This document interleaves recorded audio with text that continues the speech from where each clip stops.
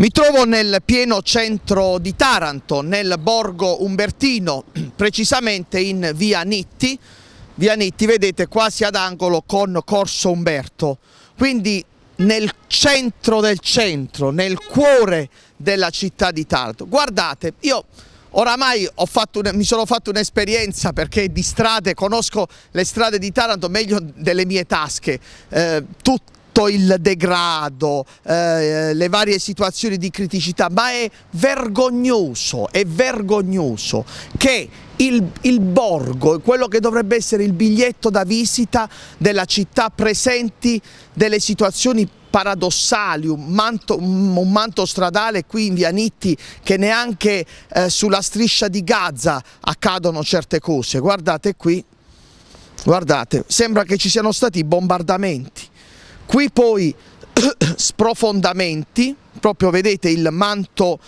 stradale scende di livello, sprofonda, questo dovuto al fatto che si procede sempre con rappezzi su rappezzi, toppe su toppe, le ditte vengono, scavano, sfasciano, buttano un po' di, di, asfalto, poi vanno via, vedete la macchina sta transitando e proprio si vede che sprofonda, ma oltre alle macchine i rischi proprio per i pedoni, i rischi per i pedoni, perché io considero una qualsiasi persona, ecco, io grazie a Dio sono normodotato, sto bene e non ho problemi, ma pensate ad un anziano, a un disabile, come deve attraversare qui, guardate un po', guardate, guardate, qui cosa facciamo? Giochiamo alle cinque pietre?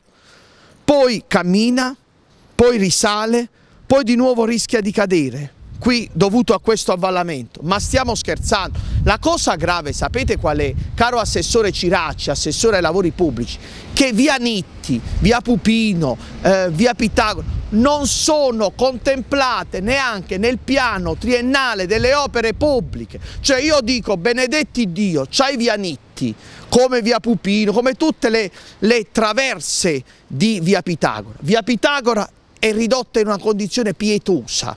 Le traverse idem.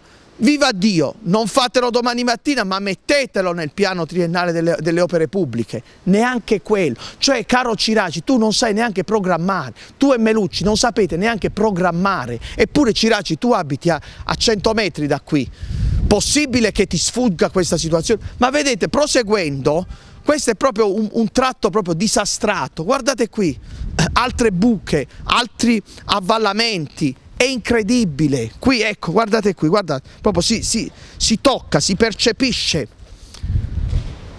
non so più cosa dire, incompetenza allo Stato puro, un'amministrazione di incompetenti, questa è la realtà d'Italia incompetenti, dilettanti allo sbaraglio che sono solo in grado di produrre danni a Taranto e ai cittadini di Taranto. Il cittadino cade, si fa male, chiede il risarcimento del danno all'amministrazione comunale, il comune viene condannato e quindi il comune deve pagare. E quindi debiti fuori bilancio, debiti fuori bilancio e debiti fuori bilancio. Ne so qualcosa perché in consiglio ne vengono eh, proposti eh, a IUSA di, questi, di queste situazioni.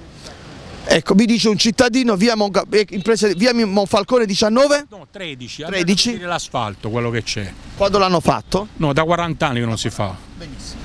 13 ha detto? Grazie, lo faremo, grazie. Ecco, vedete, il bello della diretta. Un altro caso, via Monfalcone 13, tra un po' ci andremo. Scusatevi amici, io cerco di andare ovunque, ovviamente non potrò essere ovunque perché dovrei avere come Sant'Antonio o Padre Pio il dono dell'ubiquità, però faccio di tutto, sempre dalla vostra parte.